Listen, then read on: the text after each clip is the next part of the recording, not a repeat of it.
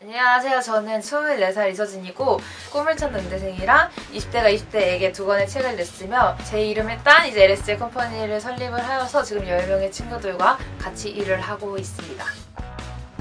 책을 쓰게 된 계기는 어, 보통 이제 은대생들 같은 경우는 졸업해서 뭐 할래라는 얘기를 되게 많이 듣는데 사실 연주자가 아니면 실패한 인생이라고 좀 생각을 하는 경향이 있거든요. 근데 나도 음악을 전공을 했지만 내가 음악을 못해서가 아니라 내가 다른 거에 도전을 하는 거다라는 그런 메시지를 전해주고 싶기도 했고 팟캐스트 방송도 하고 댄스 강사도 해보고 뭐 음악 학원도 운영해보고 다양한 경험을 통해서 저 자신을 찾았거든요. 힐링이나 공감이 될 수 있는 그런 메시지를 전달을 하고 싶어서 책을 쓰게 되었습니다.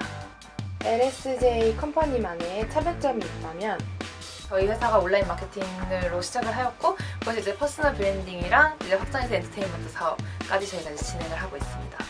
저희 같은 경우는 계획서부터 저희가 다 써드리고 왜 이게 효과가 있을지에 대해서 이유도 저희가 다 써드려요. 질문을 하시거나 아니면 난 이게 아닌 것 같은데 라고 하시면 의견 반영을 서로 해서 일방적으로 진행하는 것이 아닌 서로의 충분한 피드백을 통해서 진행을 하기 때문에 되게 만족도가 높은 편입니다. 그리고 또 엔터테인먼트 사업 같은 경우 사실 저희 자체가 되게 재밌는 20대들 또 감각 있는 20대들로 모여있기 때문에 제가 재밌는 컨텐츠도 만들고 재밌는 파티도 주최를 하고 저희가 뮤비 제작도 하고 하면서 앞으로 좀 발전을 해나 가는 또 20대만의 fresh한 그런 느낌을 받을 수 있는 게 저희 회사의 장점이기도 하고 저희 회사 모토가 dream delivery company라거든요. 그래서 온라인 마케팅 같은 경우는 자기가 사업을 시작을 했는데 매출 상승을 하고 싶다라는 꿈을 저희가 이제 온라인 마케팅 사업을 통해서 이루어 드리는 거고 책 출판이나 personal branding 같은 경우는 사실 죽기 전에 한 번쯤 소원 버킷리스트가 아 내 책을 내는 게 소원이다 뭐 이런 분들이 많으신데 책을 처음 낼 때 어떻게 내야 되는지 뭐 목차는 어떻게 설정을 해야 하는지 어떻게 유통을 해야 되는지 이런 게 되게 많이 궁금하거든요.